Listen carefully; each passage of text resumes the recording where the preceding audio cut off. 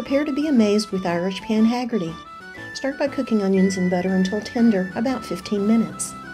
Then arrange a third of the potatoes in melted butter, overlapping the slices. Top with half the onions, half the cheese, and salt and pepper. Repeat the layering, ending with the remaining potatoes, and cook for 15 minutes. Press to compact the potatoes and bake at 400 degrees for 30 minutes. Loosen the edges and flip from the pan. Enjoy!